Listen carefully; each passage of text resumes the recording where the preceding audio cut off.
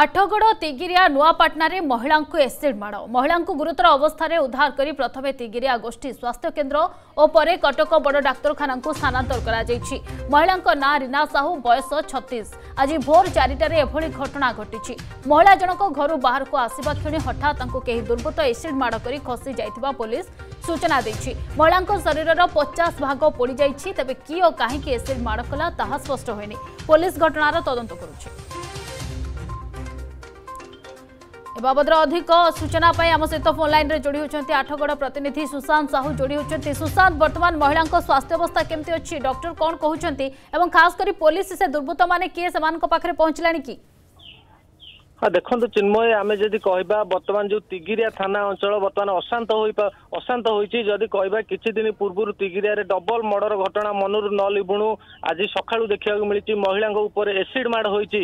ଆମେ ଏଠି ସିଧାସଳଖ କହିପାରିବା ଯେତେବେଳେ ସକାଳୁ ଖବର ଆସିଲା ନୂଆପାଟଣା ଅଞ୍ଚଳରେ ଜୈନିକ ମହିଳାଙ୍କୁ ଏସିଡ୍ ମାଡ଼ ହୋଇଛି ସେତେବେଳେ ଆମେ ପୋଲିସଙ୍କ ଠାରୁ ଖବର ନେଇଥିଲୁ କିନ୍ତୁ ବର୍ତ୍ତମାନ ଯାହା ତାଜା ସୂଚନା ଆସୁଛି ତା ନୂଆପାଟଣାର ପଡୋଶୀ ଗ୍ରାମ ଜେମାଦେଇପୁର ଗ୍ରାମରେ ଏଭଳି ଘଟଣା ଘଟିଛି ଯାହା କହିପାରିବା ଯେ ମହିଳା ଜଣକ ଭୋର ଚାରିଟାରୁ ଘରୁ ବାହାରି ବାହାରୁଥିଲେ ସେହି ସମୟରେ କୌଣସି ଦୁର୍ବୃତ୍ତ ଛକି ରହିଥିଲେ ଯାହାକି ତାଙ୍କ ଉପରେ ଏସିଡ୍ ଢାଳି ଦେଇଥିଲେ।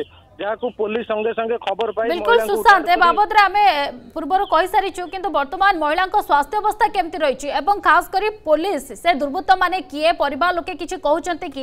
କାହା ସହିତ ପୂର୍ବରୁ ଶତ୍ରୁତା ଥିଲା? କାରଣ କ'ଣ ହୋଇଥାଇପାରେ? ଏ ବାବଦରେ କିଛି କଥା ସାମ୍ନାକୁ ଆସିଲାଣି? ହଁ ଦେଖନ୍ତୁ ନିଶ୍ଚିନ୍ତ ପକ୍ଷେ ଆମେ କହିପାରିବା ମହିଳା ଜଣକ ଭୋର ଚାରିଟାରେ କେଉଁ ପରିସ୍ଥିତିରେ ବାହାରକୁ ଆସିଲେ ଏବଂ କାହିଁକି ଆସିଥିଲେ ସେ ଦିଗରେ ପୋଲିସ ଅଧିକ ତଦନ୍ତ କରୁଛି ଯାହା ତାଜା ସୂଚନା ଆମ ପାଖକୁ ମିଳିଛି ପୋଲିସ ସୂତ୍ରରୁ ସେ ଯୋଉ ଏସିଡ୍ ମାଡ଼ ହୋଇଛି ତାର କ୍ଷୀୟ ବର୍ତ୍ତମାନ ପୋଲିସ ପାଇସାରିଲାଣି।